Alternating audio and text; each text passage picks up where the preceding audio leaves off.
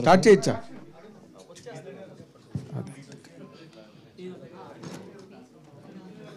మీరు పట్టుకోరా? పట్టుకోవచ్చు కదండి. కుమార్ రాజా గారు? సార్ చెప్పండి సార్. ఇప్పుడు ఈ సినిమా అంటే జనరల్గా సమకాలీన రాజకీయ పరిస్థితులు సమకాలీన సామాజిక స్థితిగతుల మీద ఆధారపడినట్టుగా ఇప్పుడు అది మీ వీడియో చూస్తే అర్థమైంది. ఎందుకంటే అది పర్టికులర్గా రాజశేఖర రెడ్డి గారు పోయినప్పుడు అక్కడ రాజశేఖర రెడ్డి గారి శవం ఉంటుండగా జరిగిన ఏదైతే ఆ వాతావరణం ఉందో అది మీరు ఇక్కడ స్క్రీన్ మీద చూపించారు. కాదు నేను బెదిరించలేదు. బెదిరి అక్కడ ఉన్నది నేను చూసింది మాట్లాడుతున్నా. కాదు కాదు ఆయన సీనియర్ జర్నలిస్ట్ ఆయనే బాలకుమారుడు కాదు. ఫస్ట్ మా డైరెక్టర్ గారికి ఇస్తాను. ఆ, ఓకే. ము- లెట్ మూర్తి గారు ఆ, ఆ- సార్ సగమైంది నీ క్వశ్చన్ ఆ, సరే అన్న కాబట్టి నువ్వు అంటే ఎవరేమనుకోకండి అందరినీ ఆన్లైన్లో సార్ అంటాం ఓకే. ఓకే. ము- ఆ, డైరెక్టర్ మూర్తి గారు. ఇప్పుడు మీరు ఇందాక చూపించిన విజువల్స్లో క్లియర్ కట్గా మీరు ఎంత మనకి సంబంధం లేదు మనం కథనే చెప్పామని మీరు చెప్పినప్పటికీ కూడా బట్ సమకాలీన సంఘటనల మీద ఆధారపడే ఉంది అది ఎందుకంటే రాజశేఖర రెడ్డి గారు పోయినప్పుడు అక్కడ శవం ఉంటుండగా జగన్ జగన్ గారిని ముఖ్యమంత్రిని చేయడానికి చేసిన ప్రయత్నాల నేపథ్యంలో షాట్ అది. మీ ఒపీనియన్? నా ఒపీనియన్ కాదు చరిత్ర. సరే మీరు సినిమా చూసిన తర్వాత నాకు ఫోన్ చేయండి. బట్ ఆ ఒక్క నేను వస్తాను మీ దగ్గరికి. ఆ పర్టికులర్ ఆ షాట్ గురించి మాట్లాడుతున్నా కాదు అస్సలు కాదు. మరి ఎలాగా అది అది సింబాలిక్ అది? నేనేమంటున్నానంటే ఆ. సినిమాలో మీరు అనుకున్న సీను లేదు మీరు రిగ్రెట్స్ ఫీల్ అవుతారు. అంటే ఇది నేను తప్పుగా ఇది సీన్ కాదు అది. వెనక మీరు చూడండి సందర్భం ఎలా ఉంటుందో. ఓకే. బట్ ఆ పర్టికులర్ బిట్ మాత్రం ఎవరికి చిన్న బా ఐదేళ్ళ బాలుడికి చూపించినప్పటికీ కూడా అది రాజశేఖర రెడ్డి గారు పోయినప్పుడు జరిగిన సంఘటనకి సంబంధించింది అన్నదే ఫీలింగ్ కలుగుతుంది. తర్వాత మీరు రేపు సినిమాలో దానికి సంబంధం లేకపోవచ్చు. అసలు నా సినిమాలో రాజశేఖర్ రెడ్డి గారి క్యారెక్టర్ లేదు లేదు లేదు. జగన్మోహన్ రెడ్డి గారి క్యారెక్టర్ ఉందా? ఆయన లేకపోతే ఏంది ఎందుకు ఉంటుంది? అది ఆయనది లేకుండా బట్ ఆయన లేకుండా అదే కదా డెడ్ బాడీ దగ్గర ఇలా ఉందని. కాదు సార్ ఆయన లేకుండా ఈయన లేరా ఏంటి? ఆయన లేనప్పుడు ఈయన క్యారెక్టర్ ఎందుకు సీన్లో చెప్తున్నా. నా నా సినిమాలో ఓపెన్ చెప్తున్నాను సార్. నా గురించి మీ అందరికీ తెలుసు. నేను నిజంగానే ఆ- కథ చేస్తే ఇదే ప్రెస్ మీట్లో కాదు నేను షా అనౌన్స్ చేసిన రోజు నా నైన్ పిఎం షోలో చెప్పేవాడిని. నేను సో అండ్ సో కథ మీద సినిమా తీస్తున్నాను నేను ఎందుకు భయపడాలి? అదే సార్ ఇప్పుడు మీకున్న ఆల్రెడీ అలాంటి బయోపిక్లు అన్నిటికీ కూడా ప్రాపగాండా మూవీలకు బ్రహ్మాండంగా సెన్సార్లు వచ్చినాయి మనం చూసాం నేను ఎందుకు భయపడాలి? నేను అదే కనుక ఓన్ చేసుకుంటే మీరు అనుకున్నట్టు ఇంకా అద్భుతమైన వ్యూయర్షిప్ ఎక్స్పెక్ట్ చేయొచ్చు. ఒక ఒక ఒక ఒక వర్గం ఒక పార్టీ ఓన్ చేసేసుకుంటుంది. నేను ఎందుకు డిజోన్ చేసుకుంటా?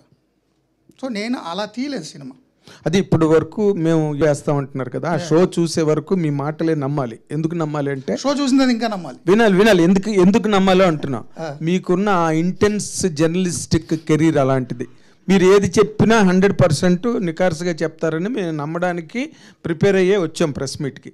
బట్ ఆ ఒక్క షాట్ గురించి నేను మాట్లాడాను. మీరు దానికి ఏదో వివరణ ఇచ్చారు. సీ నాగేంద్ర కార్ నాగేంద్ర సార్. ఆ ఒక్క షాట్కి సంబంధించి నేను డీటెయిల్స్ చెప్పేస్తే సినిమాలో సస్పెన్స్ పోద్దుగా నేను చెప్పట్లే. ఓకే. మీరు అనుకున్నది కాదు. ఇంకా అద్భుతమైంది. ఓకే. యా. సార్ అంటే లేట్ అయింది మూర్తి గారు. ఎప్పుడు అవ్వాల్సింది కొంచెం లేట్ అయింది అంటే ఇది రావటం ఇది రావటం లేట్ అవటం కూడా పర్ఫెక్ట్ టైమింగ్ చెప్పేసి అనుకుంటున్నారా మీరు ఈ రిలీజ్ మరి అంటే యాక్చువల్గా నేను ఎలక్షన్ ముందే రిలీజ్ చేయాలని అనుకోలేదు. ట్వంటీ ఫిఫ్త్ జనవరిని మా ఫస్ట్ లుక్లోనే డేట్ వేసాం. హీరో గారి బర్త్డే అప్పుడు first look so July something last year so first లుక్లోనే Jan twenty fifth అని వేసాము. బట్ నాకు కొన్ని ప్రాక్టికల్ ఇబ్బందులు వచ్చాయి. Dates call sheets. జిషు గారు సచిన్ కేట్కర్ గారు ఇద్దరు చాలా బిజీ ఆర్టిస్టులు. వాళ్ళిద్దరి కాంబినేషన్స్ నాకు డేట్స్ కుదరలే. అండ్ తిన్ను ఆస్ట్రేలియాలో చదువుకుంది. పిఆర్ కోసం ఏదో పర్మనెంట్ రెసిడెన్సీ రెన్యువల్ కోసం ఏదో మధ్యలో వెళ్ళాల్సి వచ్చింది. నాకు డేట్స్ కొంచెం ఇష్యూ అయ్యాయి. హీరో గారు కూడా వేరే సినిమా స్టార్ట్ చేశారు. ఆ డేట్స్ వల్ల కొంత ప్రాక్టికల్ ఇష్యూస్ వర్షాలు వీటి వల్ల డిలే అయింది అంతే. ఈ పర్టికులర్ టైంలో పీక్ టైంలో ఎలక్షన్ మూడు రోజుల ముందు రిలీజ్ చేద్దాం అని థాట్ లేదు నాకు. అంటే రోహిత్ గారు ప్రచారంలో బిజీగా ఉండటం అనేది అంటే ఈ సినిమా రిలీజ్ ముందు ఆయన లేకపోవటం అనేది సో దీన్ని ఎలా చూడాలండి మనం? అంటే ఆయన యాక్చువల్గా హీరో సినిమా అనేది హీరో బేస్డ్ అండి. హీరోని చూసి వస్తారు సినిమా. టెక్నీషియన్ సపోర్ట్ కూడా అద్భుతంగా ఉండొచ్చు. బట్ ఆయన ముందే మాకు చెప్పారు ఆయన షెడ్యూల్ ఆయన ప్రతి ఎన్నికలకి వాళ్ళ పెదనాన్నగారు పార్టీ కోసం ప్రచారం చేస్తారు. ఆయన నైన్లో చేశారు ఫోర్టీన్లో చేశారు అన్ని చోట్లకి వెళ్ళారు. ముందే చెప్పారు ఈ షెడ్యూల్లోగా నేను అన్ని రకాల కోఆపరేట్ చేస్తాను. షెడ్యూల్ ప్రచారం చేసుకోవాలి ముందే ప్రీ అరేంజ్డ్ అది. నేను మధ్యలో కుదిరితే కూడా వస్తాను ఇక్కడ ప్రమోషన్ కోసం అన్నారు కుదరలేకపోయింది. ఏం చేయలేని పరిస్థితి అంతే. మూర్తి గారు ఇప్పుడు జస్ట్ రెండు మూడు రోజుల ముందు రిలీజ్ అవ్వటం అనేది సినిమాకి ప్లస్ అనుకుంటున్నారా మైనస్ అనుకుంటున్నారా? ఎందుకంటే బయట వాతావరణం చూస్తే బేరసాల జరుగుతున్న టైం అని చెప్పేసి అందరూ డిస్కస్ చేసుకుంటున్నారు. అంటే ఒక రకంగా చెప్తే జనరల్ సినీ గోయర్స్ ఆ బేరసారాలు పంపకాలతో పని లేని వాళ్ళు అండి జనరల్ సినీ గోయర్స్ వస్తే సినిమాకి అద్భుతంగా ఉంటుంది. బట్ మీ అందరి దయ వల్ల నాగేంద్ర అన్నలాగా అనేక డౌట్లు క్రియేట్ చేయడం వల్ల అది పొలిటికల్ యాంగిల్ అనిపిస్తే వాళ్ళు పంపకాల్లో ఉంటే నష్టం అవ్వచ్చు. బట్ సినిమా రిలీజ్ అయిందో చూద్దాం. ఓకే. మీ సినిమాలో హీరో ఉన్నాడంటే విలన్ అనే వాళ్ళు కంపల్సరీ ఉంటారు. విలన్ అన- విలన్గా ఏం చూపిస్తున్నారు? ఏ పరిస్థితులు చూపిస్తున్నారు? వ్యక్తులనా పరిస్థితులనా? విలన్ ఎవరు దీంట్లో? నా సినిమాలో హీరో కూడా వెళ్ళనవచ్చు కదా? ఓకే. చెప్పలేం. ఓకే. సినిమా చూసి మీరు చెప్పాలి ఏమవుతుందని ఓకే. ప్రస్తుతం ఉన్న సినారియో ఏమనిపిస్తుంది? మీరు ఆ పరిస్థితుల పైన సమకాలిక రాజకీయాల పైన చేశారని సినిమా అని చెప్తున్నారు కదా. ప్రస్తుతం బయట నడుస్తున్న సిచ్యువేషన్ చూస్తే మీ కామెంట్ ఏంటి? నా పొలిటికల్ కామెంట్స్ అన్నీ నేను నా షోలో చెప్తా. అది సినిమాకి మళ్ళీ out of context cut and paste వాడితే సినిమా దెబ్బతింటుంది. వీళ్ళిద్దరు. సురేంద్రనాథ్ గారు. అందుకని నేను నా నా professional take as a professional political journalist నా take every night nine PM చెప్తూనే ఉంటా. ఈ పర్టికులర్ ఎపిసోడ్ చెప్తే వీళ్ళు ఎఫెక్ట్ అవుతారు కాబట్టి నేను చెప్పట్లా. అంటే ముందే ఎవరికన్నా కొన్ని వర్గాలకి ఏమన్నా చూపించడం జరిగిందండి? సినిమాని పర్టికులర్ ఎవరికన్నా చూపించి వాళ్ళ డెసిషన్స్ డైరెక్ట్ ఫస్ట్ జర్నలిస్టులకే చూపిస్తున్నా ఈరోజు. నిన్న చంద్రబాబు గారికి ట్రైలర్ చూపించారు కదా. మీకు వీడియో ఒకటి బయటకు వచ్చింది. యా యా అది చూసిన తర్వాత ఆయన రియాక్షన్ ఏంటి? మీతో మాట్లాడింది ఏంటి? మైక్లో మాట్లాడింది మేము అందరూ చూసాము. ఆఫ్ ద రికార్డ్ ఏమని చెప్పారు మీకు? అసలు మీ వల్లే ఆయన నన్ను అడిగారు. నేను మామూలు పొలిటికల్ ఇంటర్వ్యూకి వెళ్ళా. యాక్చువల్ నేను నేను రేవంత్ రెడ్డి గారిది కూడా చేయాలి. నా ఫ్లైట్ మిస్ అవ్వడం వల్ల నేను చేయలేకపోయా. తెలంగాణ సీఎం గారిని కూడా చేయాలి. అండ్ ఇంటర్వ్యూకి వెళ్తే నాకు ఫండింగ్ ఇవ్వడం ఏంటి అన్నారు. సో మీరందరూ చేశారు కదా వైరల్ నేనే బాబు గారికి ఫండింగ్ ఇస్తానని. ఆ టాపిక్ వచ్చినప్పుడు సినిమా ఇది అని చెప్తే ఆయన ఆయన ట్రైలర్ చూపించాను. చాలా బాగా తీసావు అన్నారు. ప్రొఫెషనల్గా తీసావు చాలా బాగా తీసావు. ఫస్ట్ టైం అయినా అన్నారు. అండ్ ఆయన దాని గురించి విషెస్ చెప్తూ కూడా మీరందరూ టీడీపీకి ఓటు వేయండి అని అనలేదు మీరు గమనిస్తే. మీరు ఓటు అయితే వేయండి నచ్చిన వాళ్ళు ఎంచుకోండి. ఎవరు మంచి చేస్తారో చూడండి అని అన్నారు. నా సినిమా కాంటెక్స్ట్ ఏంటో ఆయన క్లియర్గా అర్థమైంది. ఒక పార్టీ అధ్యక్షుడు మాజీ ముఖ్యమంత్రి అయ్యిండు కూడా మీరు టీడీపీ కోటేయండి సినిమా చూసిన అనలా. నేను ప్రొఫెషనల్గా తీసాను నన్ను అప్రిషియేట్ చేశారు ఆయన కూడా ప్రొఫెషనల్గా విష్ చేశారు. ఓకే. ఫస్ట్ డే సెట్లో యాక్షన్ కట్ చెప్పినప్పుడు మీ రియాక్షన్ ఏంటి? సెట్ మొత్తం రియాక్షన్ ఏంటి? యా అంటే నేను చిన్ను చెప్పిన నేను ప్లేబ్యాక్ అనే ఒక సినిమా యాక్ట్ చేశాను. శివకుమార్ గారి క్లోజ్ ఫ్రెండ్. అలా అన్నగారు హరిప్రసాద్ గారు డైరెక్షను. నన్ను యాక్ట్ చేయమన్నప్పుడే నేను కాదని చెప్పాను బట్ నాకు ముందు నుంచి సినిమా మీద ఇంట్రెస్ట్ నాటకాలు అవి తెలుసు కాబట్టి సరే నన్ను కన్విన్స్ చేశారు. మన జర్నలిస్ట్ మిత్రుడు టిఎన్ గారి ద్వారా టిఎన్ఆర్ ద్వారా ఆయన అప్రోచ్ అయ్యారు. సినిమా యాక్ట్ చేశాను. ఫస్ట్ డే ఫస్ట్ రోజు సెట్లో కూడా ఇలాంటి ఫీలింగ్ ఇలాంటి ఎక్స్ప్రెషన్స్ అందరూ ఎక్స్పెక్ట్ చేస్తారు నాకు తెలుసు. నేను ముప్పై ఏళ్ళుగా కెమెరా ముందే ఉన్నా. అది చిన్న కెమెరా అయ్యుండొచ్చు ఉండొచ్చు పెద్ద కెమెరా ఉండొచ్చు. సో నేను యాక్ట్ చేయాలి అనే ఫీలింగ్ నాకు ఎప్పుడూ లేదు. నేను బిహేవ్ చేస్తా. డైరెక్టర్గా కూడా బిహేవ్ చేశా. నాకు పెద్ద ఎక్సైట్మెంట్ యాంగ్జైటీ అట్లా ఏం అనిపించలేదు. బట్ ఫస్ట్ షాట్ తీయగానే ఎంటైర్ క్రూ లైట్ ఆఫీసర్స్ నుంచి అందరూ కూడా క్లాప్స్ కొట్టారు. సో వాళ్ళ ఫీడ్బ్యాక్ని బట్టి అయితే నేను పర్లేదు బాగా చేశాను అనుకున్నా. మూర్తి గారు మీరు అంటే ముప్పై ఏళ్ళ నుండి ఉన్నారన్నారు పాత్రికలు మేము కూడా చాలామంది ఇందులో కొంతమంది ముప్పై ఏళ్ళ నుండి ఉన్నాము. నలభై ఏళ్ళు అన్న. అదే అందుకనే. అయితే ఒకప్పుడు పాత్రికేయ వృత్తి అంటే గౌరవం సమాజంలో ఉండే కరప్షన్ దాన్ని ఎత్తి చూపడం ఇప్పుడు చూస్తూ ఉంటే పాత్రికేయులు అంటే పార్టీ ప్రతినిధుల్లాగా మాట్లాడడము చెయ్యడము రాయడం అన్నీ చేస్తున్నారు. ఈ పాత్రికేయుడు ఎప్పుడు వాడు? మీ కామెంట్ ఏంటి? ఇప్పుడు పాత్రికేయులు అంటే పార్టీ ప్రతినిధులుగా మారిపోయారు అందరూ. పత్రికేయుడు ఈరోజు వాడే ఇండిపెండెంట్ జర్నలిస్ట్ అత్యంత నీతి నిజాయితీతో కూడిన జర్నలిస్ట్ జర్నలిస్ట్ అనేవాడు సొసైటీ మీద కన్సర్న్తో ఉద్యోగం చేస్తాడు. మీరందరూ తెలుసు జర్నలిస్టులే మీ భార్య బిడ్డల్ని ఇంట్లో వాళ్ళని అడగండి. మీరు చాలా ఫంక్షన్లు కూడా మిస్ అవుతారు మీ వృత్తి కోసం. తల్లిదండ్రులు హాస్పిటల్లో ఉన్నారన్నా కానీ ఈ అసైన్మెంట్ అయిన తర్వాత వెళ్తానని అంత కన్సర్న్తో ఉండిపోతారు వృత్తి మీద. సో అలాంటి ఆనెస్ట్ ఆనెస్ట్ జర్నలిస్ట్ సొసైటీ కోసం ఇవేళ చేస్తే రేపటికి రెండు. వెయ్యేళ్ళు బతకడానికి రాలేదుగా. దాని సంగతి తేల్చేద్దాం. అది నా హీరో. అంటే ఇప్పుడు పార్టీ ప్రతినిధులుగా మారుతున్న పాత్రికేయుల మీద మీ కామెంట్ ఏంటి? సార్ ఇప్పుడు జర్నలిస్ట్ అనేవాడు ఫస్ట్ నుంచి ఇప్పటి వరకు అన్ని దశల్లో అన్ని ఏజుల్లో అన్ని కాలాల్లో మంచి చెడు ఉన్నట్టే అన్ని రంగాల్లో మంచి చెడు ఉన్నట్టే జర్నలిజం కూడా ఉంటుంది. హండ్రెడ్ పర్సెంట్ ప్యూర్గా ఏ ఫీల్డ్ ఉండదు. బట్ పర్సంటేజ్లు మీకు స్వాతంత్రం వచ్చేటప్పుడు పెద్ద పెద్ద ఫ్రీడమ్ ఫైటర్లు అందరూ జర్నలిస్టులు లాయర్లే. సొసైటీ మీద కన్సెంట్తో ఉన్నోళ్ళే పబ్లిక్ లైఫ్లో ఉన్నోళ్ళే. మీరు మహాత్మా గాంధీ జవహర్లాల్ నెహ్రూ అందరూ కూడా పాత్రికేయులు లాయర్లే. సో ఆ ఇన్ఫ్లుయెన్స్ ఎక్కువ ఉండేది కాబట్టి ఫిఫ్టీ సిక్స్టీస్ వరకు కూడా ఎక్కువ శాతం జర్నలిస్టులు సొసైటీ మీద కన్సెంట్ ఉండేవారు. సో అప్పుడు కూడా పార్టీలకు ఆపాదించిన జర్నలిస్టులు చాలామంది ఉన్నారు. ఇప్పుడు కొంచెం ఎక్కువై ఉండొచ్చు. బట్ ఇప్పుడు మంచి వాళ్ళు ఉన్నారు అప్పుడు చెడ్డోళ్ళు ఉన్నారు. అంటే మీరు ఒక ఛానల్లో పనిచేయడం వల్ల ఆ ఛానల్ ఓ పార్టీకి లేదా సపోర్ట్ చేయడం వల్ల మీ సినిమా కూడా ఆ పార్టీకి అనుగుణంగా తీశారని ఆ హీరో కూడా పార్టీకి సంబంధించిన వ్యక్తే కాబట్టి అలా అనుకోవడానికి ఏమైనా వీలుందా? బయట ప్రేక్షకులు? ప్రేక్షకులు ఎవరెవరు ఇన్ని లక్షల మందిలో ఎవరెవరు ఏమనుకుంటారని మనం చెప్పలేం. బట్ మీరన్న ఆ హీరో నాది పంతొమ్మిదో సినిమా. ఆయన పద్దెనిమిది సినిమాలు ఏ పార్టీకి అనుకూలంగా చేయలేదు. రెండు వేల పద్నాలుగులో ఆయన ఇదే టైటిల్తో ప్రతినిధి చేశారు. అప్పుడు కూడా ఎన్నికల ముందే వచ్చింది. అప్పుడు కూడా పొలిటికల్ థ్రిల్లరే. అప్పుడు ముఖ్యమంత్రిని కిడ్నాప్ చేసిన సినిమా. సొసైటీ మీద ఇష్యూస్ మాట్లాడిన సినిమా. అప్పుడు ముఖ్యమంత్రి చాలా మంచివాడు ఆ సినిమాలో. అంటే అప్పటి కాంగ్రెస్ ముఖ్యమంత్రిని ఆయన హీరోగా పోర్ట్రే చేసినట్ట ఆయన తెలుగుదేశం వాళ్ళ పెదనాన్న అయ్యుండి కాదు కదా. Professional artist. నేను ప్రొఫెషనల్ డైరెక్టర్ని ఈ సినిమా ద్వారా. సో మీరన్నట్టు ఏ ఛానల్ ఏ పార్టీకి సపోర్ట్ చేస్తుంది అనేది కొంతమంది అనుకునే ఒపీనియన్. బట్ నేను పనిచేసిన ఛానల్ వైసీపీ ఛానల్ అని అప్పట్లో అనేవారు. సో జనరల్గా జర్నలిస్ట్ అనేవాడు ప్రజల వాయిస్ వినిపిస్తాడు.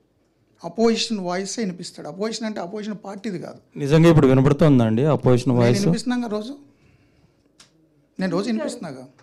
నేను పద్నాలుగు పంతొమ్మిదిలో కూడా అపోజిషన్ వాయిస్ వినిపించా. అప్పుడు కేంద్ర మంత్రిగా ఉన్న మహా టీవీలో పనిచేస్తూ ఎప్పుడు రిజైన్ చేస్తారు మీరు రాష్ట్రం కోసం అని ఆ కేంద్ర మంత్రిని అడిగిన వాయిస్ నాది. మీరు గూగుల్ యూట్యూబ్కి వెళ్ళి చెక్ చేయొచ్చు. సార్ మూర్తి గారు ఇక్కడ సార్. ట్రైలర్లో అంటే వెంకటే. అడుగయ్యా. పవర్ చేతుల్లో ఉంటే కేసులన్నీ కోర్టులో ఉంటాయి అంటున్నారు నిజంగా అంటే ఆ పవర్ అనేది కోర్టులు అంత డామినేట్ చేస్తున్నాయి అంటారా? కోర్టును డ్యామేజ్ చేయడం కాదు. ఆ పర్టికులర్ క్యారెక్టర్ డైలాగ్ అది. దానికి ముందు వెనుక జస్టిఫికేషన్ ఉంటుంది. మీరు అది రోజు ఈడింటికి చూడండి తెలుస్తుంది. ప్రతినిధి టూ అంటే ఒక జర్నలిస్ట్ అని చెప్తున్నారు కదా ఈ జర్నలిస్ట్ ఏం చెప్తున్నాడు సార్? అంటే ఇప్పుడున్న సొ- సొసైటీకి ఏం చెప్తున్నాడు? పొలిటికల్గా ఏం చెప్ప చెప్తున్నాడు అని లేదు పొలిటికల్గా ఏం చెప్తానంటే పొలిటికల్ పొలిటికల్ లీడర్స్ మీ జీవితాలకి నాయకులు కాదు. మీ జీవితాలకి ఈ దేశానికి ఈ రాష్ట్రానికి డెమోక్రసీకి మీరే నాయకులు. మీకు సేవ చేయడానికే వాళ్ళు ఉన్నారు. వాళ్ళు దైవాంశ సంభూతుల్లాగా వాళ్ళు ఇంత పడేస్తే తినేసి ఆహా అనుకోకండి. మీరే వాళ్ళకి ఇన్ని ఓట్లు పడేయాలి. సో మీ సేవకులే తప్ప వాళ్ళు మీ నాయకులు మీ దేవుళ్ళు కాదని చెప్తాడు. అంటే ఓటు గురించి చెప్తున్నారా? అండర్ కరెంట్గా ఉంటుంది. అండర్ కరెంట్ అంటే చాలా కాదు ప్రజలే పాలకులు ఇందులో. నిజమైన పాలకులుగా మీరు భావిస్తున్న వాళ్ళు సేవకులు. కాకపోతే ఏంటంటే చాలామంది కూడా ఇప్పుడున్నటువంటి పరిస్థితి చూస్తుంటే ఓటు వేయడానికి ఇంట్రెస్ట్ చూపించడం ప్రతిరోజు ఇప్పుడు జరిగినటువంటి ఇప్పుడు త్రీ టైమ్స్ జరిగినాయి. ఎందుకు జరుగుతుంది ఇలాంటిది? అంటే ఆ వస్తున్నటువంటి ఎవరైతే పోటీ చేస్తున్నారో ఏ పార్టీ అయినా సరే అధికారం ప్రతిపక్షం అని ఏదైనా సరే అంటే వాళ్ళు ఎక్స్పెక్ట్ చేసినటువంటి ఆ క్యాండిడేట్లు పోటీ చేయట్లేదనే కదా ఇక్కడ? నా సినిమా కరెక్ట్గా ఇదే అంశాన్ని ప్రస్తావిస్తుంది ఆన్సర్ కూడా చెప్తుంది. అవునా? Yeah okay. దినేష్ రాజు గారు దినేష్ తేజ్. లేడీస్ ఒక్కరు కూడా అడగలేదు పాపం hello sir here Babitha from big TV.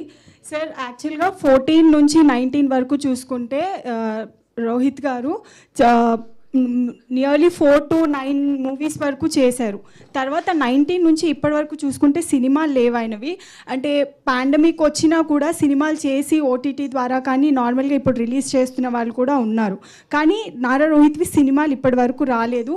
ఈ టైంలో ఎలక్షన్ మూమెంట్స్లో ఈ మూవీ రిలీజ్ అవ్వడాన్ని జనాలు తీసుకునే విధానాన్ని ఎట్లా చూస్తారు మీరు? వాళ్ళకి మీరు ఏం చెప్పాలనుకుంటున్నారు? టూ థౌజండ్ ఫోర్టీన్ ముందు కూడా ఆయన చాలా సినిమాలు చేశారు. నైన్టీన్ వరకు చేయలే ఎయిటీన్ వరకే చేశారు. ఎయిటీన్ సెవెంటీన్ వరకే చేశారు. నైన్టీన్ వరకు కూడా చేయలే ఎయిటీన్ సెవెంటీన్ వరకు చేశారు. ఆ చేసిన సినిమాలు కూడా చాలా కాలం ముందే స్టార్ట్ అయినాయి. ఆ తర్వాత వన్ వన్ ఇయర్ గ్యాప్ తీసుకుందాం అనుకున్నారు ఆయన వన్ టూ ఇయర్స్. ఆయనే చెప్పారు చాలా ఇంటర్వ్యూల్లో నేను చేసిన సినిమాల్లో కొన్ని స్క్రిప్ట్ నాకు నచ్చలేదు అందుకని నేను ఆగానని. స్టార్ట్ చేద్దాం అనుకున్నారు అను అనుకోకుండా పాండమిక్ వచ్చింది. అంతే. మూర్తి గారు. దినేష్ దినేష్ రాజ్. దినేష్ తేజ్. యా. అండి అండి. అండ్ మీరు కథ వినకుండా కూడా ఒక సినిమా మీద ఫ్యాషన్తో కానీ డైరెక్టర్ మీద నమ్మకంతో కానీ ఒప్పుకున్నాను అన్నారు. సో మేము ట్రైలర్ వరకు చూస్తే ట్రైలర్లో ఒక యువ కథ యువ నాయకుడు పొలిటికల్ నాయకుడు రిఫ్లెక్ట్ చేసినట్టుంది. ఇది ఒక రాష్ట్రంలో కొంతమందికి ఏదన్నా అంటే అంటే ఏ విధంగా అండి? పొలిటికల్ లీడరు యువ నాయకుడు. యువ అంటే రోల్ అలాంటిదే కాబట్టి సో అలాగే కనిపించుండవచ్చు అంటే కొంచెం యంగ్ లీడర్ లాగా. సో అలానే కనిపిస్తాను కదా మించిన అంటే సినిమా రిలీజ్ అయిన తర్వాత మీకు ఏమన్నా కొంచెం రావచ్చా వాళ్ళ దగ్గర నుంచి? అలాంటి ఏమన్నా ఎక్స్పెక్ట్ చేస్తున్నారా? ఏం లేదా? ఏంటండి? పొలిటికల్గా వాళ్ళు అన్వయించుకుంటే మీ క్యారెక్టర్ వాళ్ళు అన్వయించుకుంటే ఇప్పుడు మాకు తెలియదు మీరు అంటుంది ఎవరైనా నా క్యారెక్టర్లో ఊహించుకోండి. అది మంచిదే కదండి ఎవరైనా ఊహించుకోవచ్చు. కొంచెం వాళ్ళ లీడర్ కూడా యంగ్ అండ్ చార్మింగ్గా ఉన్నారంటే వాళ్ళు కూడా హ్యాపీ ఫీల్ అవుతారు కదా. యా యా మీరు చెప్పిన డైలాగ్ డైరెక్ట్ అక్కడ కట్ చేసి ఇక్కడ పేస్ట్ చేసిన డైలాగ్ అది అవునా మూర్తి గారు నాకు చెప్పలేదు also all onlookers of the present ongoing current events for the last 20 years okay You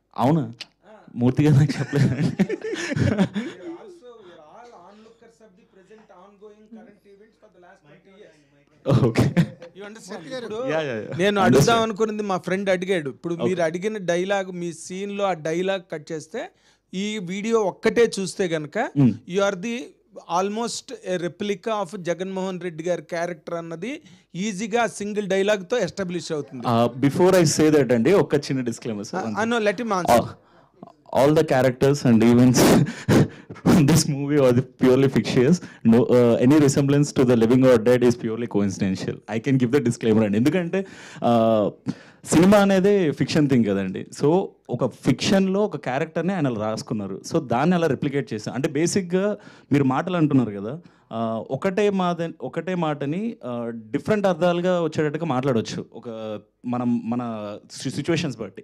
so ఆ సార్ ఇందాక చెప్పినట్టు కూడా ఆ పర్టికులర్ సీన్కి ముందు ఒక వేరే కథ ఉంది తర్వాత వేరే కథ ఉంది. అంటే ట్రైలర్ కదా మీకు అందుకు అలా అనిపిస్తుండొచ్చు. ట్రైలర్ అంటే just to give that hype అంటే సినిమా మీద ఒక ఇంట్రెస్ట్ క్రియేట్ చేయడానికి మీరు చెప్పిందంతా చాలా చక్కగా ఉంది. మీరు వివరణ చాలా పర్ఫెక్ట్గా ప్రొటెక్టివ్గా చెప్తున్నారు. కానీ ఇది రిలెక్ ఇది రిలీజ్ ముందు ఇది ఎలక్షన్ డేట్కి కరెక్ట్గా పోలింగ్ డేట్కి ముందు కరెక్ట్గా త్రీ డేస్ ముందు వెళ్తుంది ఫిల్మ్ Yeah. హండ్రెడ్ పర్సెంట్ మిమ్మల్ని జగన్మోహన్ రెడ్డి గారి క్యారెక్టర్తో మాత్రమే ఐడెంటిఫై చేసుకుంటారు. అఫ్ కోర్స్ రేపే రిలీజ్ మీకు వచ్చే ప్రమాదం? రాలేదు. మీరు మీరు చెప్ మరీ మరీ చెప్తుంటే నాకు కూడా డౌట్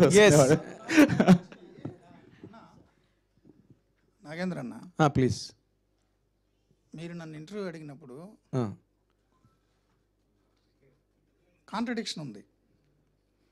ఆ సీన్లో మీరు చెప్పినటువంటి జగన్మోహన్ రెడ్డి గారి క్యారెక్టరే రెప్లికా అయితే ఆ సినిమాలో డైలాగ్ జగన్మోహన్ రెడ్డి గారు హీరో. తండ్రి చనిపోయి ఇంకా పది గంటలు కూడా అవ్వలేదు. ఈ రాజకీయాలు మొదలెట్టారా ఉందా మీకు ఏమైనా అసలు తిట్టాడు. సో జగన్మోహన్ రెడ్డి గారు హీరో నా క్యారెక్టర్ ప్రకారం మీ దృష్టిలో అయితే. నా దృష్టి సొసైటీలో సొసైటీలో మీరు అన్నారు చూడు ఆ డైలాగ్ అక్కడ కట్ చేశారని. సొసైటీలో జర్నలిజంలో రాజశేఖర రెడ్డి గారు చనిపోయినప్పుడు జగన్మోహన్ రెడ్డి గారు సంతకాలు పెట్టి ఇచ్చారనే ఫీలింగ్ వెళ్ళింది జనంలో. కానీ ఈ సినిమాలో మీరు అనుకుంటున్న క్యారెక్టర్ తిడుతుంది రాజకీయాలు వద్దని. సో మీరు చెప్పిందే క్వశ్చన్ అయితే నా సినిమాలో జగన్ గారు హీరో అయి ఉండాలి కాదు కాదు మొట్టమొదటి మొహం మీద చెప్పడానికి ఒక మాట వెనకాతలు చెప్పడానికి ఒక మాట రెండు. మాటలు ఉంటాయి. అలా లేదు. ఆ మొహం మీద చెప్పడానికి మాట వాడుకున్న మాట కావచ్చు కదా అది. నిజంగా మీరు చెప్పిన టైంలో అలాగా రికార్డ్ కాలేదు రిపోర్ట్ కాలేదు. చెప్పండి హండ్రెడ్ పర్సెంట్ అలా రిపోర్ట్ అవ్వలే. కాదు. బట్ ఇది మార్చి డైలాగు మళ్ళీ నెక్స్ట్ సీన్ ఇంకోటి ఉండొచ్చు కదా. మళ్ళీ మార్చడం ఎందుకంటున్నా? మూర్తి గారు అయితే మీరు కాదని చెప్తున్నారు కదా. అయితే అట్లా పోలికలు అనిపిస్తున్నాయి. ఆయన ఎందుకు తీసుకున్నారు? మేమంతా ట్రైలర్ చూసినప్పుడు ఫస్ట్ లుక్ చూసినప్పుడు అతనిలో మేము జగన్నే చూసాం. చూశారు కదా. నాకు చాలామంది మెసేజ్లు పంపారు.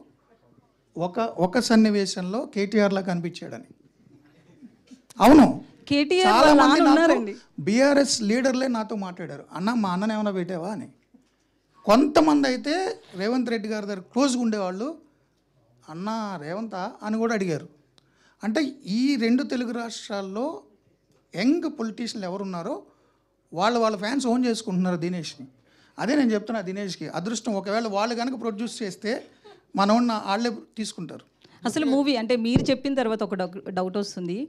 ఈ మూవీ ఏపీ రాజకీయాలకు సంబంధించిందా తెలంగాణ రాజకీయాలకు సంబంధించిందా? ఈ మూవీ భారత రాజకీయాలకు సంబంధించింది. మూర్తి గారు. డైరెక్టర్ మూర్తి గారు ఒక క్వశ్చన్ అండి.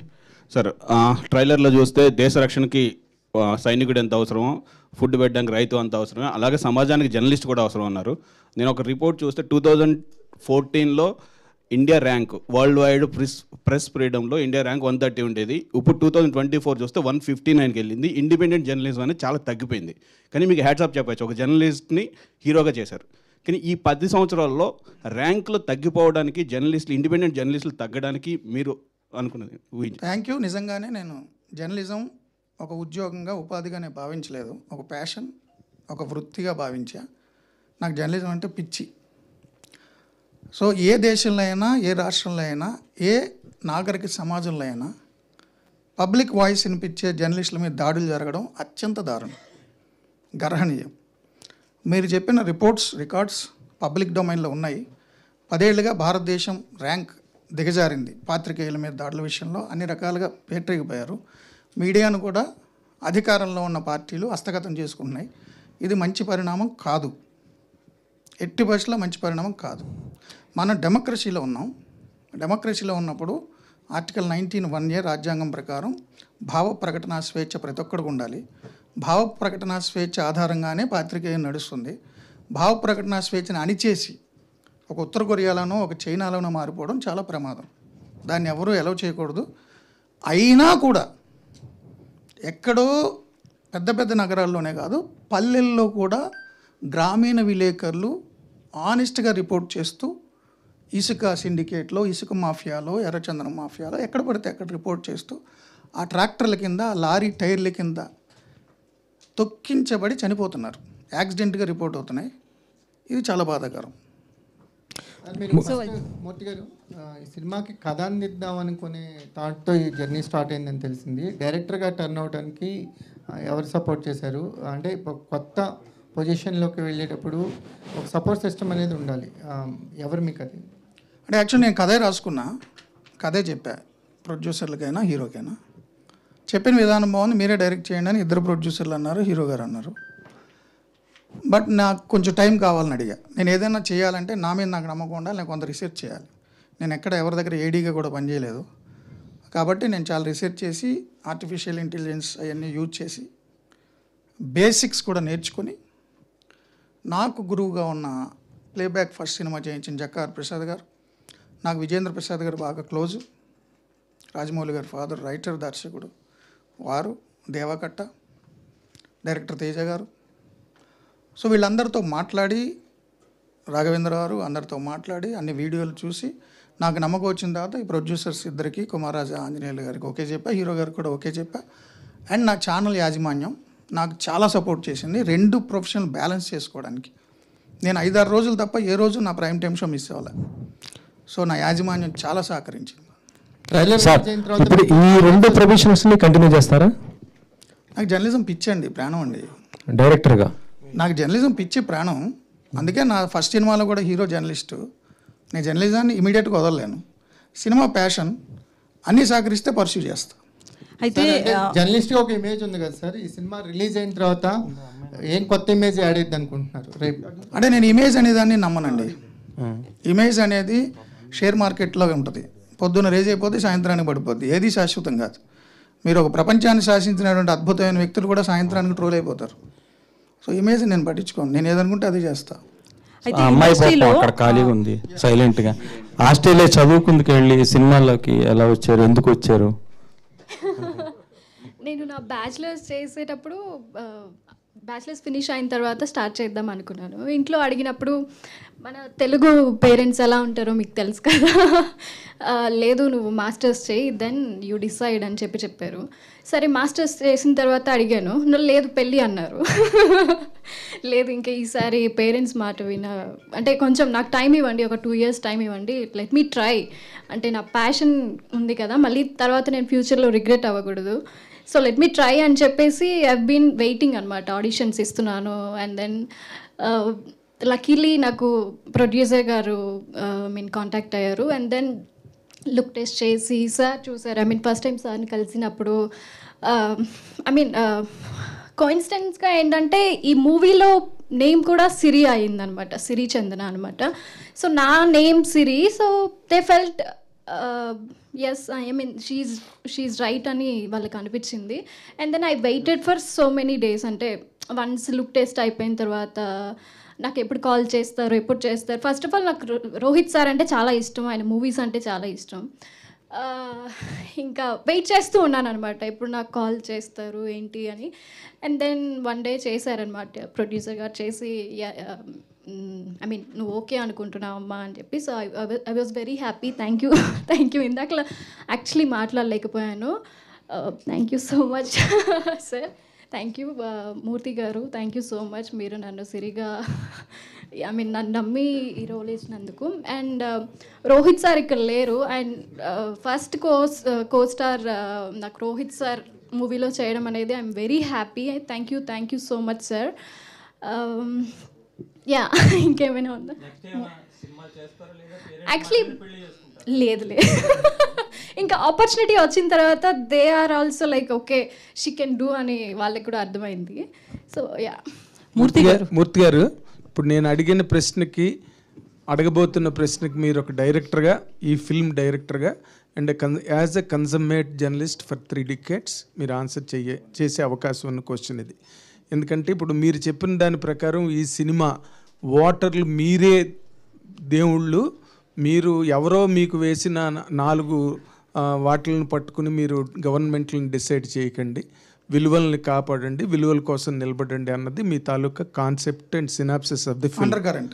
Undercurrent undercurrent ఎందుకంటే main cinema political thriller political thriller undercurrent soul of the film is this okay but ఇప్పుడు మనకి ఏపీ కండిషన్స్ బట్టి మనకి అందుతున్న క్షేత్రస్థాయి నివేదికలు గ్రౌండ్ రిపోర్ట్స్ ప్రకారం టీడీపీ గవర్నమెంట్ కూటమి గవర్నమెంట్ ఫామ్ చేయబోతోంది. And YSRCP is going to lose the elections అని all surveys are telling right now ఇప్పుడు మీ సినిమా కరెక్ట్గా మూడు రోజుల ముందు రిలీజ్ అవుతుంది. విలువలను కాపాడండి విలువల్ని కాపాడండి అంటే అక్కడ విలువలు లేని ప్రజా పరిపాలనా వ్యవస్థ వేళ్ళూనుకుంది అన్న ఒక నేపథ్యంలో ఏపీ అంతా గగ్గోలు పెట్టి దద్దరిల్లిపోతుంది. ఇప్పుడు ఈ సందర్భంలో మీ సినిమా అక్కడున్న సినోరియోని ఏ విధంగా ప్రభావితం చేయబోతుందని మీరు అనుకుంటున్నారు? అంటే సినిమా మొత్తం జీవితాలని ప్రజల్ని ప్రభావితం చేస్తుందని నేను అనుకోవట్లేదు. బట్ ఒక సీడ్ అయితే వేస్తుంది. అది ఏ రాష్ట్రంలోనే వేస్తుంది. ఇప్పుడు మీరు సంక్షేమ పథకాలు నాలుగు మెతుకులు వేసేస్తే అని అన్నారు కదా. అది యూకేలో యూఎస్లో కూడా ఉంది. యూకేలో అయితే సోషల్ సెక్యూరిటీ కార్డ్స్ అనేది పెద్ద ఇష్యూ లేబర్ పార్టీకి కన్జర్వేటివ్ పార్టీకి. చాలా దేశాల్లో జరుగుతుంది వెల్ఫేర్ అనేది. మన దేశవ్యాప్తంగా కూడా నీతి ఆయోగ్ లాంటి వాళ్ళు ఇప్పుడు ఐదు సార్లు మీటింగ్ పెట్టారు పిఎంతో. ఈ వెల్ఫేర్ స్కీమ్స్ వల్ల బడ్జెట్ ఇదైపోతుంది చాలా ప్రమాదం అనేక రాష్ట్రాల్లో జరుగుతుంది. సో నేను చెప్పే కదా భారత రాజకీయాలకు రిజంబ్లెన్స్ ఇది. తెలుగు వాళ్ళు ఉన్నారు కాబట్టి ఏ రాష్ట్రంలో అయినా ఓన్ చేసుకుంటే లేదు యూకేలో ఉన్న తెలుగు వాడు ఓన్ చేసుకుని అక్కడ లేబర్ పార్టీకి వేస్తాడో ఏడో నాకు తెలియదు ఇంపాక్ట్ ఉండొచ్చు. ఉండొచ్చా? యా.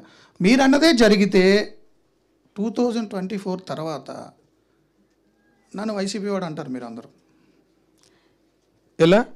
అంటే నా ప్రతిపక్షం కొంత తినిపిస్తాయి ఇప్పుడు. మూర్తి గారు అయితే మీరు స్క్రిప్ట్ రాసుకో రాసుకుంటున్నప్పుడు కావచ్చు ఏ పార్టీకి సంబంధం లేకుండా రాశానని చెప్పారు. సో అంటే ఇంతమంది ఇండస్ట్రీలో హీరోలు ఉన్నారు స్టార్ హీరోస్ ఉన్నారు చాలామంది పొలిటికల్ బ్యాక్గ్రా బ్యాక్గ్రాప్ మూవీస్ చేసిన వాళ్ళు కూడా ఉన్నారు. అయితే నారా రోహిత్ని ఎందుకు సెలెక్ట్ చేసుకున్నారు? మీరు రాస్తున్నప్పుడే అతను ఊహించుకున్నారా? నారా రోహిత్ గారు ప్రతినిధి సినిమాలో జర్నలిస్ట్. ప్రతినిధి సినిమా జర్నలిస్ట్. Common man. అని లాస్ట్లో కోట శ్రీనివాసరావు ఇప్పుడైనా చెప్పబోయా నీ పేరు నీలాంటి ఆనెస్ట్ జర్నలిస్ట్ నా రాష్ట్రంలో పౌరుడిగా ఉండడం నా అదృష్టం. ఇప్పుడైనా నీ పేరు చెప్పబోయా అంటాడు. కామన్ మ్యాన్ అని వెళ్ళిపోతాడు.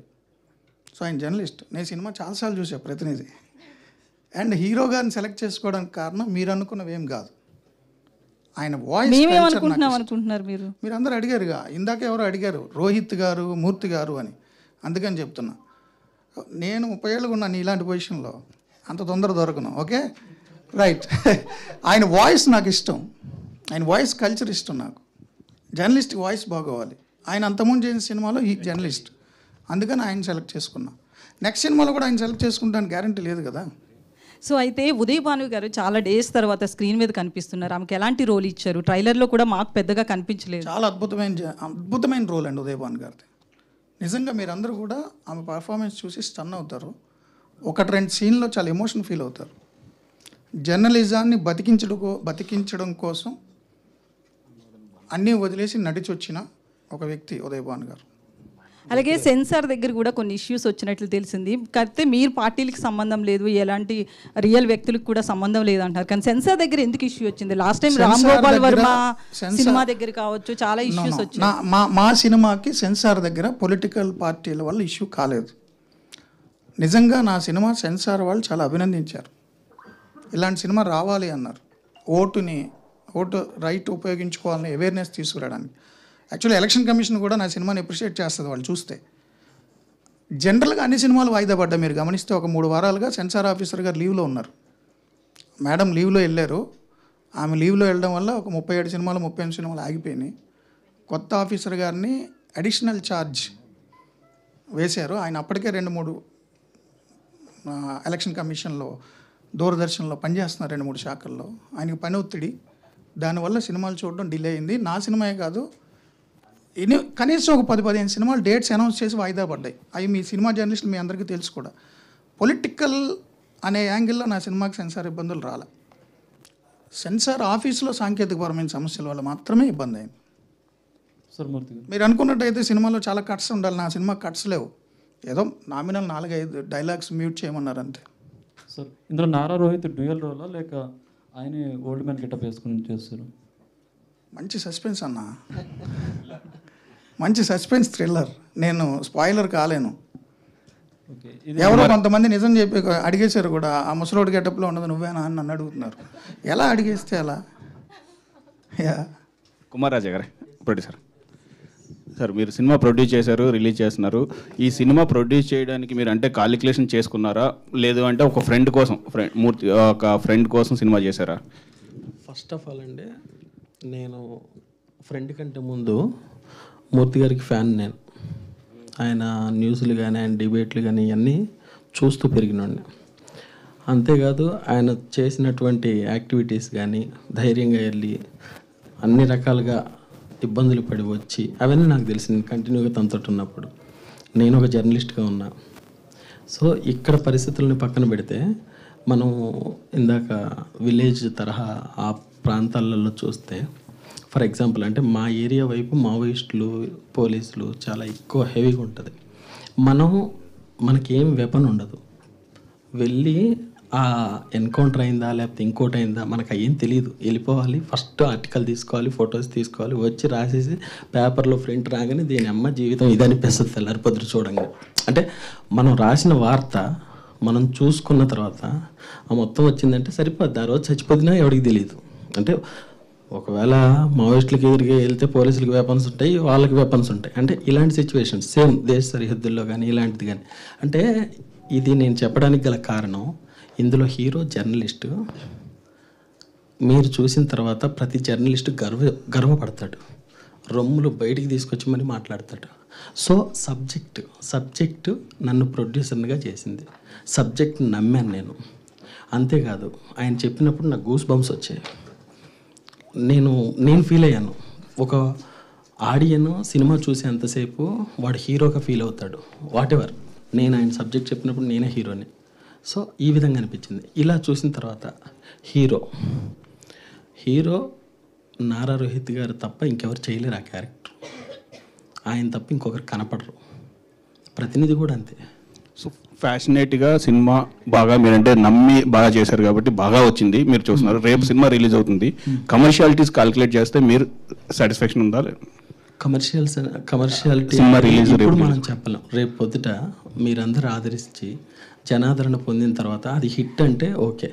ఏ సినిమా ప్రొడ్యూసరు ఆ సినిమాలో డబల్ డబుల్ వచ్చేస్తాయి అని అయితే వాడు సినిమా సినిమా తీయరు. ఫస్ట్ ఆఫ్ ఆల్ ఒకవేళ హిట్ సినిమా అనుకొని కూడా సినిమా చేద్దామని చెప్పి ఎవడు అనుకోడు. హిట్ సినిమా అనుకుందేమో ఫెయిల్ అవుద్ది. ఫెయిల్ అనుకున్నదేమో హిట్ అవుద్ది. బట్ మన ఫస్ట్ మనం ఎంచుకున్న సబ్జెక్ట్ సాటిస్ఫాక్షన్ ఇంపార్టెంట్. ఆ సాటిస్ఫాక్షన్ని ఆ ప్యాషన్ తోటి ముందుకు వెళ్ళిపోతున్నాం అంటే గత కొంతకాలంగా మేము సినిమాలు చూస్తున్నాం. అంటే నాన్ థియేటికల్ రైట్స్లో కూడా కొన్ని సినిమాలు ప్రాఫిట్స్ వస్తున్నాయి. థియేటర్ ముందు రిలీజ్కి ముందు. సో దాని గురించి నేను క్వశ్చన్ అడిగాను. సో అంటే మీకు అఫ్ కోర్స్ అండి. ఇంకా నాన్ థియేట్రికల్స్ నాది ఇంకా క్లోజ్ అవ్వలేదు. హవెవర్ మీరు చెప్పినట్టు నాకు మంచి రేట్ వస్తే నేను అంతకు మించిన అదృష్టవంతుడిని ఉంటాను maybe whatever I feel నేను హండ్రెడ్ పర్సెంట్ అయితే మీరు అనుకున్నట్టుగా లాభం లాభాల్లో ఉంటానని అనుకుంటున్నాను. All the best sir Murthy garu Murthy garu ఇక్కడ. ఇక్కడ sir. Sir Pratinidhi two Murthy గారి బయోపిక్ అనుకోవచ్చా? ఒక జర్నలిస్ట్గా జర్నలిస్ట్ బయోపిక్ అనుకోవచ్చు. అదే ఆ జర్నలిస్ట్ ఆల్ జర్నలిస్ట్. ఓకే ఇంకో ఆల్ జర్నలిస్ట్. ఇంకో క్వశ్చన్ సార్. అంటే అంటే అందులో పాటలు ఫైట్స్ ఉన్నాయి. నా బయోపిక్లో అయితే అవి ఉండవు. కాబట్టి చాలా మంది అనుకోవచ్చు. అంటే మీ జీవితానికి దగ్గరగా మీరు చూసి దెబ్బలు తినేయడం ఉంటాయి ఎదురు కొట్టడాలు అంత ఉండవు. అంటే మీ జీవితానికి దగ్గరగా మీరు రాసుకున్న కథలో మీ అభిప్రాయాన్ని చెప్పారా లేదా అభిప్రాయాన్ని కథగా మార్చారా?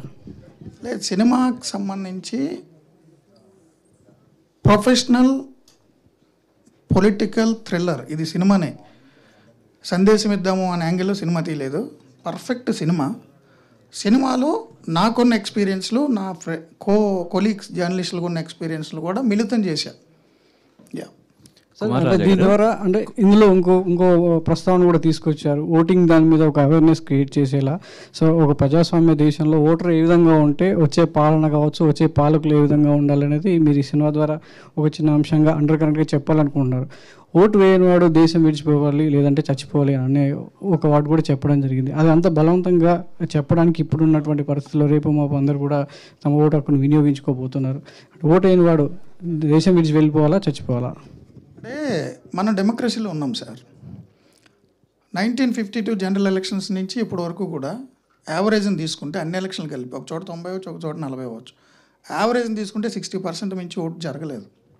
మరి ఆ నలభై మంది ఏం చేస్తున్నట్టు? డెమోక్రసీలో ప్రజలే నిర్ణేతలు వాడే ఓటేయాలి. నీ ఇప్పుడు మీకు నచ్చినా నచ్చకపోయినా పొలిటికల్ సిస్టంలోనే మనం ఉంటాం. మీరు పుట్టింది మీ అమ్మ నాన్న మీరు పుడితే మీ జనన ధృవీకరణ పత్రం మీ జీవితాంతం మీరు చచ్చే వరకు దాన్ని మొయ్యాలి. అంటే నువ్వు పుడితే నీ పుట్టినట్టు సర్టిఫికెట్ కూడా పొలిటికల్ సిస్టమ్ గవర్నమెంటే ఇవ్వాలి. నీ డేట్ ఆఫ్ బర్త్ని అదే డిసైడ్ చేస్తుంది.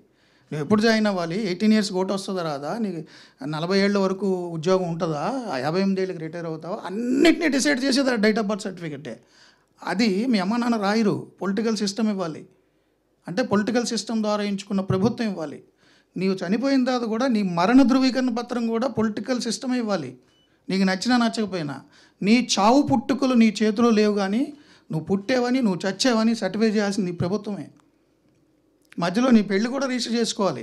నువ్వు ఫ్రెండ్ని గుళ్ళో చేసుకున్నా ఆర్య సమాధిలో చేసుకున్నా. అంటే ఈ ప్రభుత్వాలే నీ చావు పుట్టుకల్ని నీ పెళ్ళిళ్ళని నీ ఇంట్లో బతుకుల్ని నీ పిల్లల పుట్టుకల్ని నీ పిల్లల చదువుల్ని వాడు తెలుగు మీడియంలో చదవాలా ఇంగ్లీష్ మీడియంలో చదవాలా? నువ్వు వెళ్ళే రోడ్డుని నువ్వు వెళ్ళే ట్రాఫిక్ని నువ్వు హెల్మెట్ పెట్టుకోవాలా సీట్ బెల్ట్ పెట్టుకోవాలా? పొల్యూషన్ లెవెల్స్ ఏంది? నువ్వు వెళ్తే మందు ఎంతకు దొరకాలి? డ్రంక్ అండ్ డ్రైవ్ చేస్తే ఎంత ఫీజు కట్టాలి? నీవు ఏ ఉద్యోగం చేయాలి? నీ నీకు ఇష్టం ఉన్నా లేకపోయినా నువ్వు ఏ దేశ భూభాగంలో పుట్టావో అక్కడి నుంచి చచ్చే వరకు చచ్చిన తర్వాత కూడా నీ కొడుకు కూడా నీ మరణ ధృవీకరణ పత్రం ఉంటేనే వాడికి ఇన్సూరెన్స్ వస్తుంది సో నీ చావు పుట్టుకుల్ని నీ పెళ్ళిని నీ జీవితాన్ని డిసైడ్ చేసే పొలిటికల్ సిస్టంలో నువ్వు ఇన్వాల్వ్ అవ్వకుండా అది ఎవడో ఎన్నుకుంటాడు ఎవడో చేస్తాడని వాడికి వదిలేసి ఆ ఓటేసేవాడు మాత్రం పల్లెల్లో మీరు చూడండి మీరు. చాలామంది తెలిసి ఉంటుంది పల్లెల్లో ఓటేయడానికి వెళ్తే అప్పటికే దొంగ ఓటేసారనుకో గొడవ గొడవ చేస్తారు వాళ్ళు. మామూలు గొడవ చేయరు. చచ్చిపోయిన అనుకున్నావా? ఓటల జాబితాలో నేను లేననుకున్నావా? ఎందుకు నా ఓటు ఎవడేసాడు అని గొడవ గొడవ చేసి ఛాలెంజ్ ఓటు చేస్తారు. అంటే ఓటు వేయకపోతే చచ్చిపోయిననే భావం పల్లెల్లో ఉంది. మరి ఓటు అయిపోతే చచ్చిపో.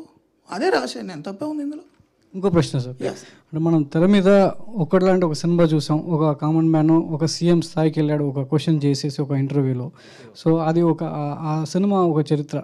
చాలామంది ఆడియన్స్ని కావచ్చు సొసైటీని ఒక కదిలించినటువంటి సందర్భం కూడా. సో ఈ విధంగా మీ సినిమాలో ప్రతినిధి ఒక జర్నలిస్ట్ ఏ హోదాకి వెళ్తాడు? జర్నలిస్ట్ కానీ ఒక కా అంటే ఒక ఇండిపెండెంట్ జర్నలిస్టు ఒక సీఎం స్థాయిని క్వశ్చన్ చేసి ఏ స్థాయికి వెళ్తాడు ఈ సినిమాలో అది ఏ విధంగా ఆడియన్స్ని కన్విన్స్ చేస్తుంది? సో నా నా హీరో జర్నలిస్టు సీఎంని క్వశ్చన్ చేస్తాడు పిఎంని క్వశ్చన్ చేస్తాడు. వాడే సీఎం పిఎం అయిపోతే ఇంకొకటి ఎవడో క్వశ్చన్ చేస్తాడు. నా హీరోని ఎవడో క్వశ్చన్ చేయడానికి లేదు. నేనే క్వశ్చన్ చేస్తా.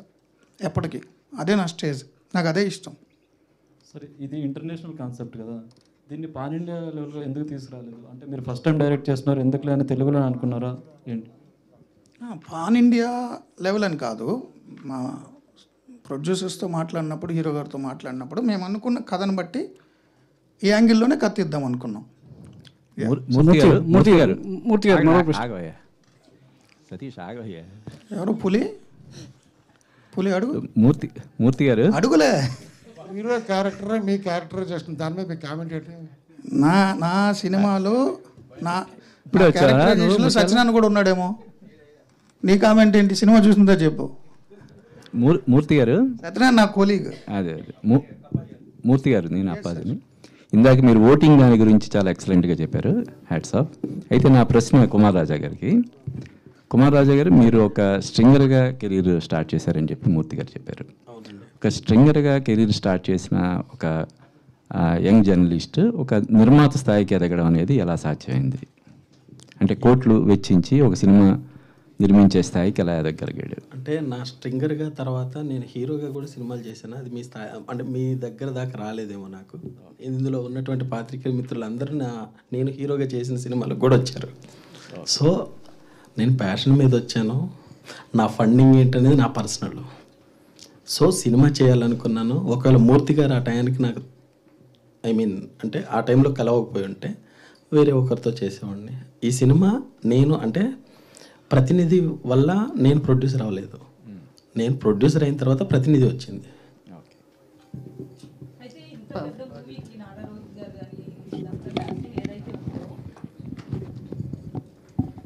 అయితే ఇప్పుడు ఆయన అడిగిన question continuity so as a journalist ఒక నిర్మాతగా అంటే హీరోగా చేసినప్పటికీ కూడా సక్సెస్ఫుల్ హీరో కాదు. సో మీరు అనుకున్నంత పైసలు రావు ఇప్పుడు ఈ ఇండస్ట్రీ నుంచి మీరున్న స్థాయికి. సో ఈ మూవీకి యాజ్ ఏ ప్రొడ్యూసర్ అయ్యే ముందు ఎవరి నుంచి అన్న పార్టీల నుంచి కావచ్చు ఎక్కడి నుంచి అన్న ఫండింగ్ వచ్చిందా? ఇందాక మీరు మాట్లాడుతూ కూడా ఫండింగ్ అనేది పర్సనల్ అనేసారు చిన్న మాట. దీనికి ముందు హీరో గారు డైరెక్టర్ గారు ఇద్దరు కలిసి ఒక ఇంటర్వ్యూలో కూర్చున్నప్పుడు క్వశ్చన్ వేశారు. ఏమండి మీకు ఫండింగ్ సిబిఎన్ గారి దగ్గర నుంచి వచ్చింది అని చెప్పి ఒక టాక్ వచ్చింది. ఆ క్రమంలోనే మా మూర్తి గారు ఒక డైలాగ్ చెప్పారు. సిబిఎన్ గారి దగ్గర నుంచి ఫండింగ్ వచ్చి ఉంటే సినిమా ఆగేది కాదండి. కొన్ని రోజులు బ్రేక్ తీసుకోవాల్సి వచ్చింది మీకు. Because of funding.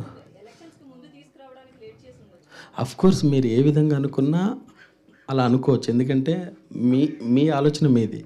But thing మీకు కనపడుతుంది మేము కడే మేము పడే కష్టం ఏం జరిగింది ఏంటనేది సినిమా వాళ్ళందరికీ తెలుసు.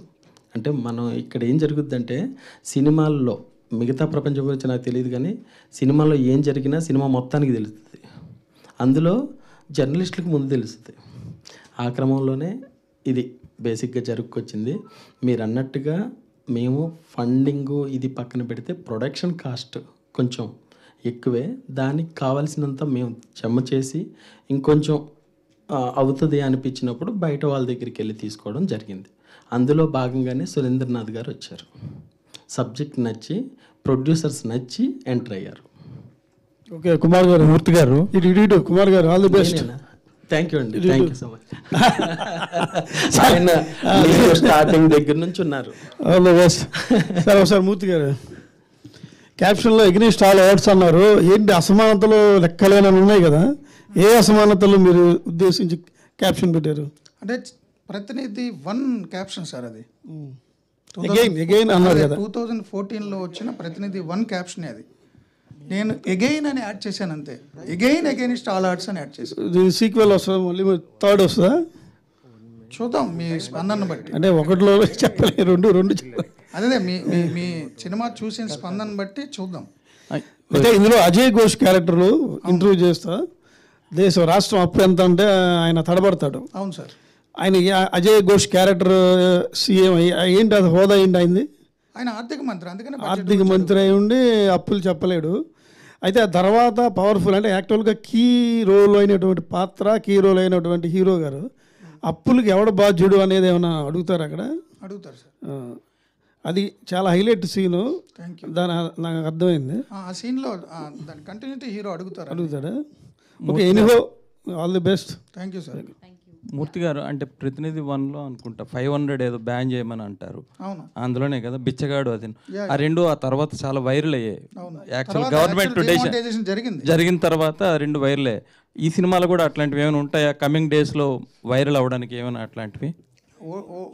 ఓటు వేస్తారండి ఈ సినిమా చూసి కొంతమంది అండి.